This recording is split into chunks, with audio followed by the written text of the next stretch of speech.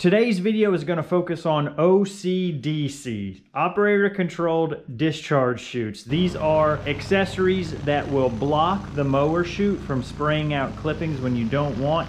They flip open and close. There's many different brands. They work in many different ways. I decided to do an experiment and see what was the most widely recommended brand and then try that brand out. So to find out which option was the most popular, I went to Lawn Care Mafia, that's a Facebook group with about 40,000 people in it, and asked which ones they recommended. I got around 20 responses and of that made this little chart. And what you see right off the bat is over half of the people who answered recommended grass flap. Next was QuikChute. Only one recommended advanced chute. And then, of course, we had a knucklehead who said a two by four with duct tape and zip ties. So I put his response in there too. Based on those results, I reached out to Grass Flap and they were kind enough to send a unit for us to do some videos on and for testing. And I think it's easy to see why Grass Flap is the most popular. When you look at their website, it is without a doubt the most polished and easy to navigate, especially when it comes to trying to find your unit. For some reason, the drop downs don't show in my screen capture software, so here's a picture of what one of them looks like, but your model, your year, your deck size, you've got all these different things that you can input. It's very quick, very easy, and then it spits out the specific grass flap for your machine. You can see here on the screen is the one that fits my Toro. It happens to be a no drill mount for my application. You can see the reviews on that specific unit, pictures of it. Most of these are similar that I found they're going to be between 350 and $400. If you care about it, it's also very easy to find out who's in charge of this company, who are the people behind it. It's a family owned business.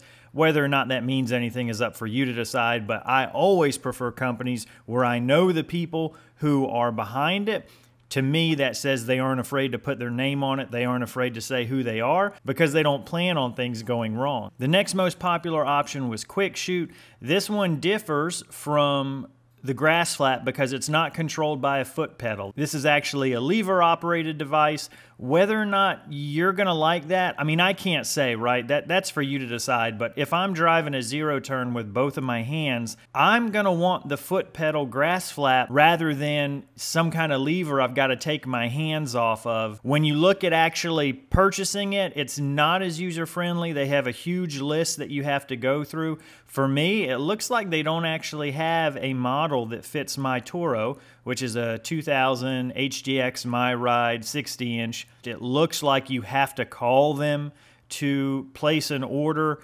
You know, some people might not care about that. It's just something to note. It does look like you have to drill into your deck for this option. The last option that was recommended, one person said advanced chute.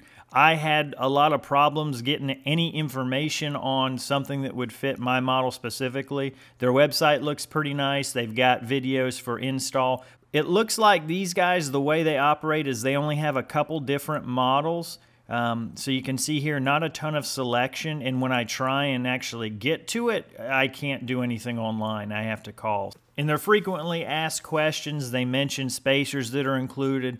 So it seems to be that the design is they make one model that fits almost everything, and then you have to drill, you have to use spacers to make it fit your unit perfectly. Again, I think this is going to be why most of the people in that survey said grass flap because grass flap is the only one I'm seeing that has specific options for your mowers that have the most drill free or no drill options. Their website's the most polished, they're the easiest to work with, you know who you're dealing with. What's important to you? I have no clue. I don't have any financial incentive for you to get one of these over the other. These are just my opinions in this little bit of research for you to help make your own decision. One last option that nobody even recommended was these powered operator controlled discharge chute blockers. It looks like they only make a couple of different models and they're going to be a little bit more expensive. I don't necessarily love the idea of a window motor that's controlling it. I feel like that's a failure point, but I don't have any hands on, so it might be very reliable. I just don't like the thought of that versus the simple cable operation of the grass flap. But it is worth noting that nobody in that survey recommended or brought up this brand, so I think that's a little telling as well. So if that gave you any more questions, please leave them down in the comments. I'll try and reply as quickly as I can. This video was just the overview of some of the more popular brands that were recommended by people who use these. If you're interested in the installation of the grass flap, that will be a separate video as well, a long-term review of it so you can see how it holds up after a season of mowing.